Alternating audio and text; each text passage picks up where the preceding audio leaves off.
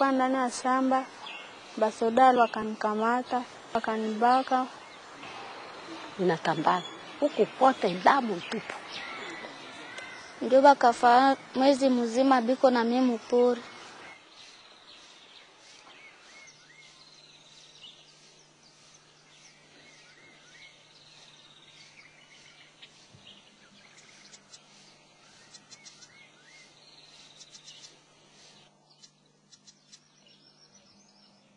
Huku tunakuwa na service ile ya kawaida, na hii ng'ambo ndio tunakuwa na service ya wale wa mama ambao wame wakubaka.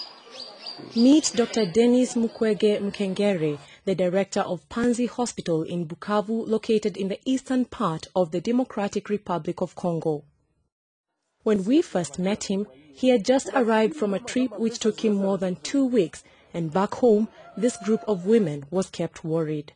na nilisharudia, lakini saa tu mwisho wa mwaka inaanza inamalizika, programu ya operation itaanza tena sawa kawaida. Huko ningali natengeneza nani programu juu ya mwaka kesho.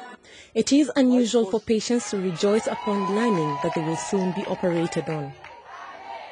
We later came to realize that to these poor women and girls, it was the only option towards normal life.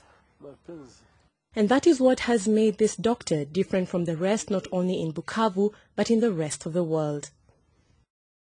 Gynecology is a scientific study and treatment of diseases and disorders of the female reproductive system. That is exactly what Denis Mukwege Mkengere went to study in France 23 years ago, and little did he know that years later, his acquired experience will be the only hope to these women who are now caught up in the endless cycle of armed conflicts. Despite plenty of natural resources, including vast mineral deposits, the country currently is faced with many challenges. For decades now, the area commonly referred to as the Great Lakes has been synonymous with instability. Being part of the region, the eastern part of the Democratic Republic of Congo has been hosting tens of armed groups from amongst its citizens and those from neighboring countries such as Uganda, Rwanda, and Burundi.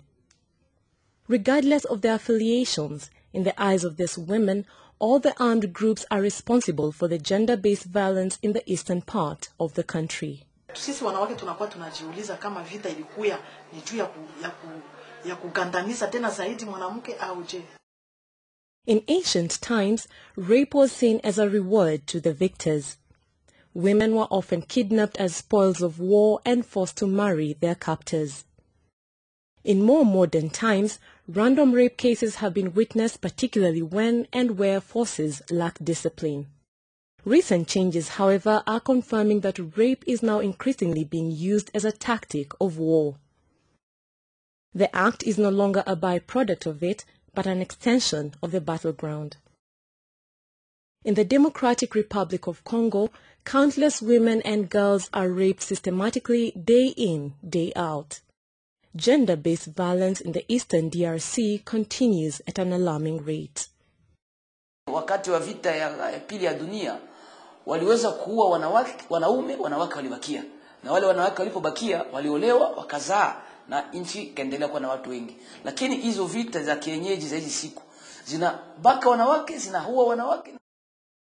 Rape is part of the wider violence directed against a woman and it includes acts that inflict physical and psychological suffering. It is an act of violence against the victim's will and women and girls are forced into submission by the use of physical force and threats of harm. It is sudden and unpredictable. Wakati wale wana, wanawake wako wanabakwa na marazi yanaambukizwa, yale marazi yataambukiwa pia wanaume. Ni aina nyingine ya genocide ambayo haizungumziwi. Numerous requests to interview members of the armed groups were unsuccessful. However, we managed to talk to a young demobilized soldier and asked him about the allegations. Ndio gisi walikuwa wanafanya hata kumi na wote wanafanya. Hmm. Rape has evolved from a largely random event into a premeditated and organized act of terrorism during warfare. Its consequences have motivated Dr. Mukwege to develop this special unit. Na sasa tunakuwa na hospitali ya vitanda mia tatu hamsini na kwa hivyo vitanda mia tatu hamsini karibu mia mbili hamsini eh, tunavitumikisha kwa wale wamama ambao wamepata shida ya kubakwa na jeuri mbalimbali eh, kwa hii kipande cha, cha Kongo. Unable to sit comfortably, this woman lies on a bench writhing in pain, awaiting surgery. Daily, a team of doctors perform up to eight reconstructive surgeries in this room. From here, victims are checked for sexually transmitted diseases and the level of damage. Tangu karibu zaidi ya miaka tano tunapokea wamama kumi kila siku. As the act of rape itself is violent, some parts of the body end up being torn or ruptured. In a situation where a woman is not only gang raped, but also the barrel of the gun or a stick is inserted into her genital, the womb, bladder, intestines, rectum, blood vessels, and the nerves are among the most affected. After a brief counseling before we interviewed some of the rape victims, we had an opportunity to listen to stories from some of them. We found out that age was no barrier. kumi na tatu. Sasa kushamba kuchimbua mioko, naona vinaume hivi vitatu avikunulisha na walikuwa na mabunduki Nikienda kunyumba niko nalia na njo damu ikaanza suka. De mpori nikwenda Msombe, ndio bakanikamatia kule, ndio bakafaa mwezi mzima biko na mimi mpori, abanione bakwetu bakanja nitafuta. Pakusema na nikwamata na balinialabisha balini- balienda kukamata bali- balikuwa wanakata muti sawa ule.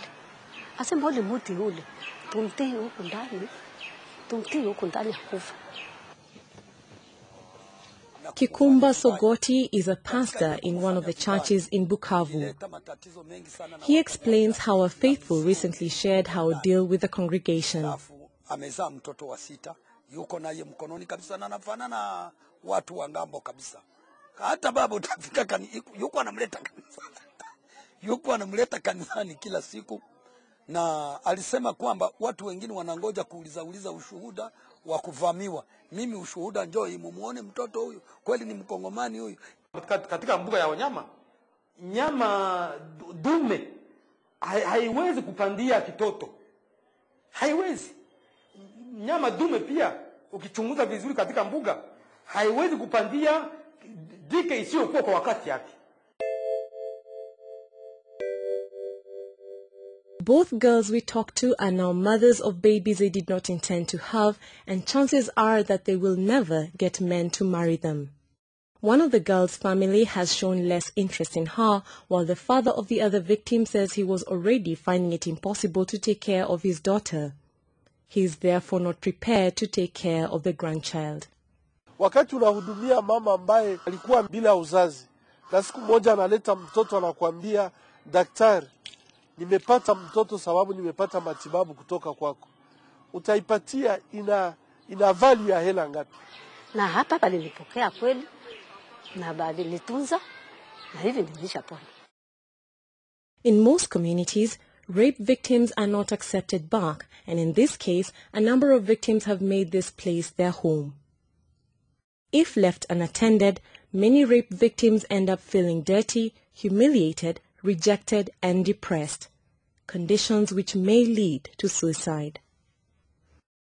After experiencing such an ordeal, a conducive environment for these girls and women is crucial for that journey towards full recovery.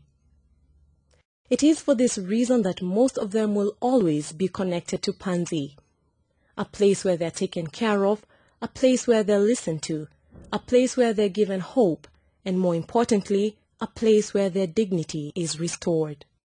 I would like to get more men who can involve in fighting against sexual violence. I would like to get um, uh, men to fight for the right of women because I don't, I don't live, I, I don't believe that we can build this Africa without women. We need more men to, to support women in the reconstruction of Africa.